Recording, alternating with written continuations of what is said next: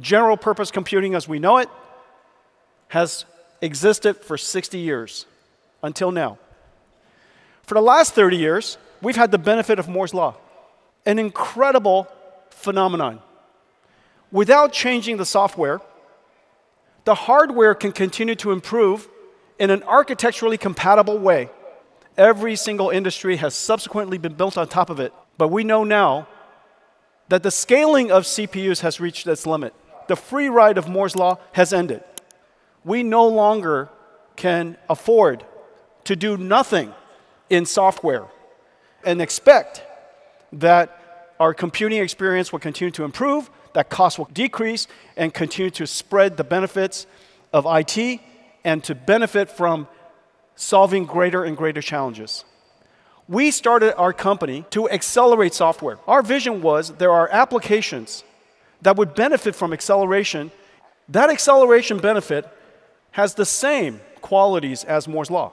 For applications that were impossible or impractical to perform using general purpose computing, we have the benefits of accelerated computing to realize that capability. For example, computer graphics. Real time computer graphics was made possible because of NVIDIA coming into the world and make possible this new processor we call GPUs. But we felt that long term, accelerated computing could be far, far more impactful. There is no such magical processor that can accelerate everything in the world. Because if you could do that, you would just call it a CPU. You need to reinvent the computing stack from the algorithms to the architecture underneath and connect it to applications on top. In one domain after another domain, computer graphics is a beginning, but we've taken this CUDA architecture from one industry after another industry after another industry. Today, we accelerate so many important industries. cuLitho is fundamental to semiconductor manufacturing, computational lithography, simulation, computer-aided engineering, quantum computing, so that we can invent the future of computing with classical, quantum, hybrid computing. In each one of these different libraries, we're able to accelerate the application 20, 30, 50 times. Of course, it takes a rewrite of software, which is the reason why it's taken so long. In each one of these domains, we've had to work with the industry, work with our ecosystem, software developers, and customers in order to accelerate those applications for their domains.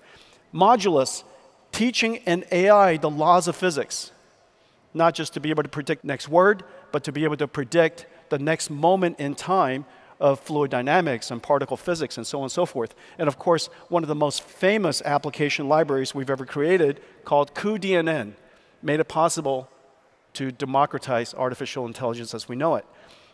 These acceleration libraries now cover so many di different domains that it appears that accelerated computing is used everywhere. But that's simply because we've applied this architecture one domain after another domain that we've covered just about every single industry. Now, accelerated computing, or CUDA, has reached the tipping point. The first thing that happened, of course, is how we do software. Our industry is underpinned by the method by which software is done.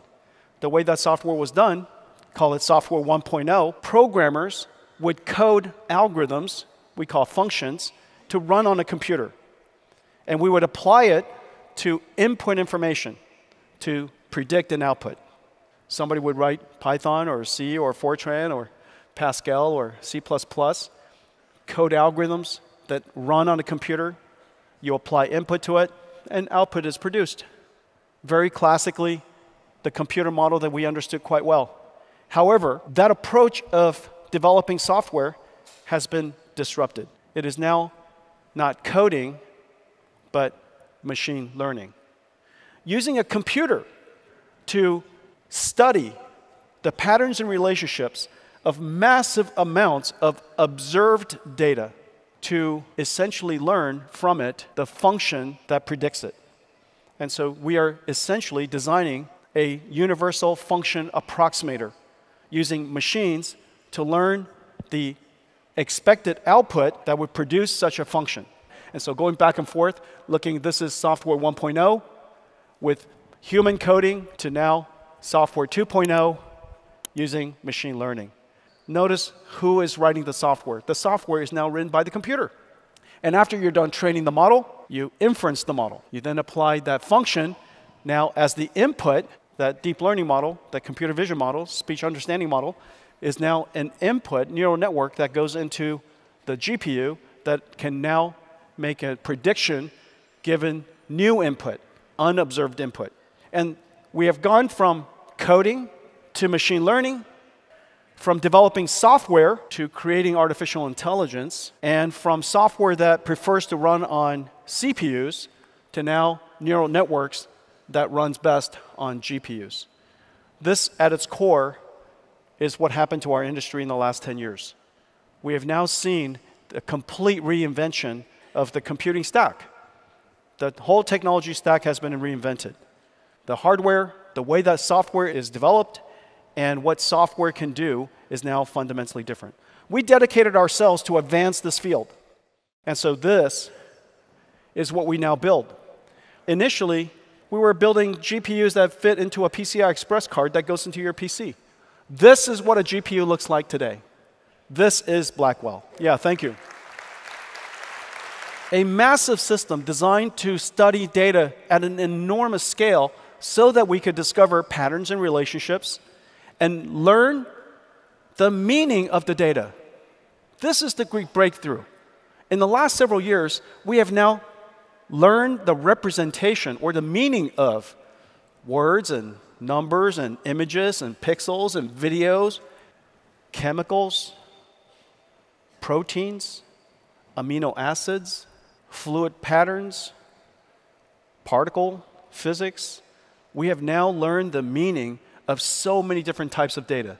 We have learned to represent information in so many different modalities. Not only have we learned the meaning of it, we can translate it to another modality. So, one great example, of course, is translating English to Hindi, translating English, large body of text, into other English, summarization, from pixels to image, image recognition, from words to pixels, image generation, from images, uh, videos to words, captioning, from words to proteins used for drug discovery, from words to chemicals, discovering new compounds, all because of this one instrument that made it possible for us to study data at enormous scales. Well, I just want to say that in order to build the Blackwell system, of course, the Blackwell GPU is involved, but it takes seven other chips. TSMC manufacture all of these chips, and they're just doing an extraordinary job ramping the Blackwell system. Blackwell is in full production, and we're expecting to deliver in volume production in Q4. And so this is basically Blackwell.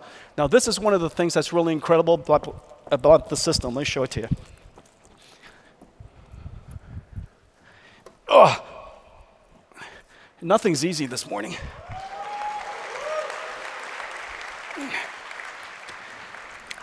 This is NVLink, and it goes across the entire back spine of a rack of GPUs. And these GPUs are all connected, 72 dual GPU packages of Blackwells, 144 GPUs, connected together so it's one giant GPU. If I were to spread out all of the chips to show you what this connects together, it's essentially a GPU so large, it'd be like this big. But it's obviously impossible to build GPUs that large, so we break it up into the smallest chunks we could, which is reticle limits and the most advanced technologies, and we connect it together using NVLink. This is NVLink backspine. You're looking at all of the GPUs being connected. That's the quantum switch that connects all of these GPUs together on top.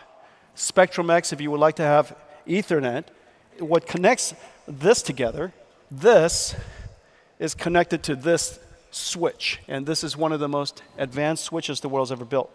Now, all of this together represents Blackwell, and then it runs the software that's on top.